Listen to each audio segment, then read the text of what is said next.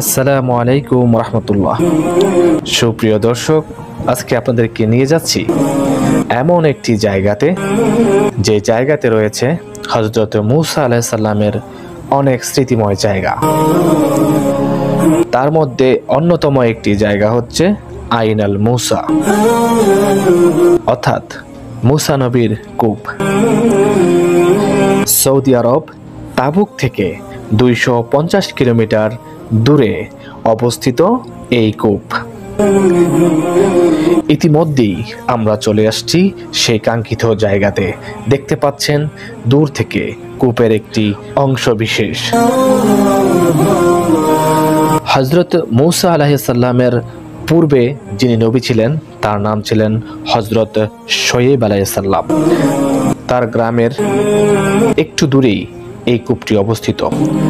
কথিত রয়েছে লোকমুখে শোনা যায়, ইতিহাস বলে, এখানে যখন মুসা নবী আসে, তখনকার সময়ে নির্দিষ্ট একটি সময়ে, হয় সকালে, না হয় বিকেলে। সপ্তাহের একটা দিন এই কূপের ঢাকনা সরানো হতো পানি নেওয়ার জন্য। তখন এই মুখে কূপের মুখে একটি ঢাকনা ছিল, যে ঢাকনা সরানোর জন্য এগারো জন শক্তিশালী যুবকের প্রয়োজন ছিল।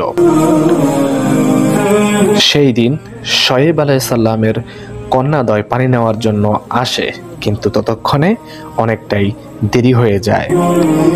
তারা এসে দেখে এই কূপের ঢাকনা বন্ধ হয়ে গিয়েছে।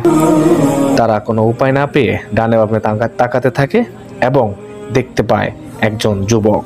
সেই যুবকটি ছিলেন হজরত মৌসা আলাইসাল্লাম তাদের মধ্যে কথা হয় এবং কন্যাদয় শোয়েব আলাইসাল্লামের কন্যাদয় হজরত মুসা আলাইসাল্লামকে বলেন যে, আমরা পানি জমার জন্য এসেছি। তখন হজরতে মুসা, যে ঢাকনাটা সরানোর জন্য এগারো জন পুরুষের প্রয়োজন ছিল, সেখানে একাই সেই ঢাকনার সরাইয়ে দেয় এবং সেই শোয়েব আলাইসাল্লামের কন্যাদয় এখান থেকে পানি নেয়।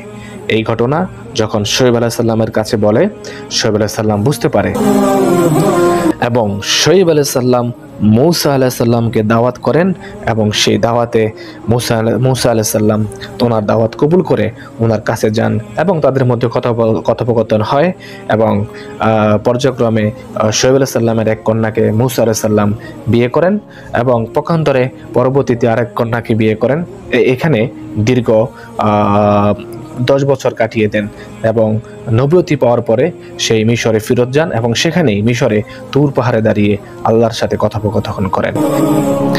এই আলবেদাতে মজাজাপূর্ণ আরেকটি জায়গা রয়েছে, টুয়াল স্প্রিং, অর্থাৎ বারোটি পানিধারা। হজরত মৌসা আলাহ সাল্লামের লাঠির মজাজা আপনারা অনেকেই জানেন। আল্লাহ তার লাঠির মধ্যে অনেক ক্ষমতা দিয়েছিল। সেই লাঠির আঘাতে এই টুয়েলভ স্প্রিং তৈরি হয়। আপনারা দেখতে পাচ্ছেন পাহাড়ের উপরে এখনও পানি উঠতেছে। হয়তো কেমন পর্যন্ত উঠবে। সুপ্রিয় দর্শক, শোয়েব হজরত শোয়েব আলাহ সাল্লামের গ্রামের একটি অংশ, যার পুরো ভিডিও আমার ইউটিউব চ্যানেলে আছে, যার লিংক আমি ডিসক্রিপশনে দিয়ে দিব। আশা করি সবাই দেখবেন।